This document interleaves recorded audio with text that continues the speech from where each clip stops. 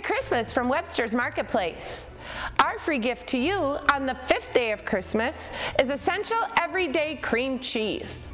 Webby and I are going to use them to make holiday crockpot party potatoes.